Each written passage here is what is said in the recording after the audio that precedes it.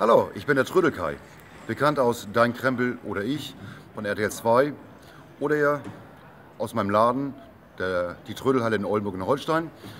Ich wollte euch erzählen, kommt mal nächsten Samstag nach Bergedorf, da wird das Dorfmuseum aufgelöst. Sehr interessante Sachen bei von äh, diversen Sachen. Lasst euch einfach überraschen, kommt vorbei, guckt euch an, erbeutet was, Filmrequisiten aus diversen Sachen. Also es lohnt sich. Und was ich noch sagen wollte, am 7.4. RTL 2 schauen, 15 Uhr, Dein Krempel oder ich, Folge 9 mit Sven Florian.